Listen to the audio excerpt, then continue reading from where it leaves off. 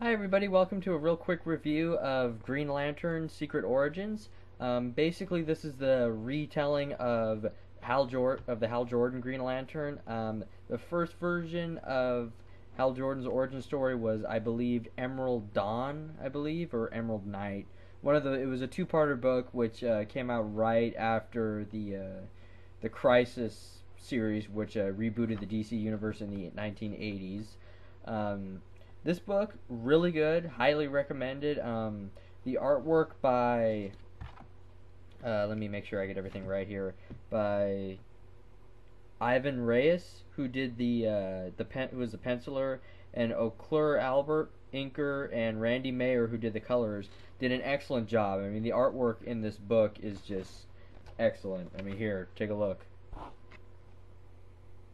Yeah. Um, the story by Geoff Johns. Geoff, I think that's how you pronounce his name. I am terrible with names. You've probably seen throughout many of my videos. Um, ex- did an excellent job on the story. Um, if you were disappointed in the Green Lantern movie that came out a couple years ago, which uh, a lot of us were, uh, just read this book. I mean, it is uh, it's perfect with that way for the Green Lantern. Like it feels like you're kind of reading a movie. It's very entertaining. It keeps you going, and it's very interesting. You know, and they really captured the the parts were like, especially like these are my favorite parts is when he's on, uh, I believe Oa is the planet where the Green Lanterns have to, where the like the head Green Lanterns are headquartered. Um, I love seeing all the different lanterns and all their different powers and everything. That's why I did my uh, drawing of the Green Lantern Corps, which was because I read this book. Also, I did have that in my mind for a while, but like I said, great book, highly recommended. Um, there's nothing really I could find wrong with it. I mean, there's nothing that really stood out to me and say, ah, that really you know that got on my nerves. I think it was a really well well written book. Um,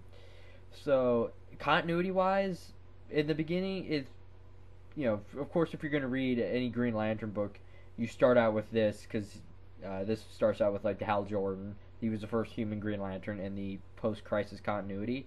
Um, and continuity compared to other characters, I would say read probably in between Superman, Man of Steel, or whatever Superman origin story you're going to read, and Batman Year One because they do mention they don't mention anybody else, but the only other superhero they mention in this book is Superman.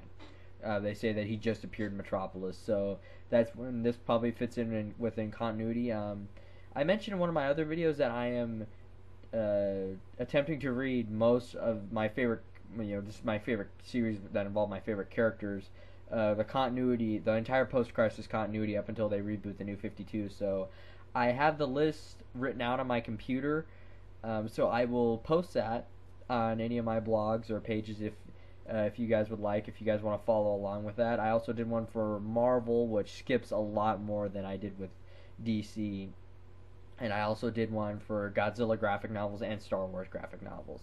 So yeah, um, like I said, if you're a Green Lantern fan, uh, pick up this book if you're interested in starting to read Green Lantern. Again, pick up this book, or if you're just a comic book fan in general, I'd read it. Yeah. Uh, didn't find anything wrong with it, and I found it to be a very entertaining and interesting book to read. So that's all for now. Um, pay attention to part two of my Green Lantern video, which hopefully for uh, the my Green Lantern corpse drawing, which will hopefully be coming out soon, and pay attention for other to other videos that are coming out. And as always, if you like what you see, go ahead and uh, hit subscribe. Thanks for watching.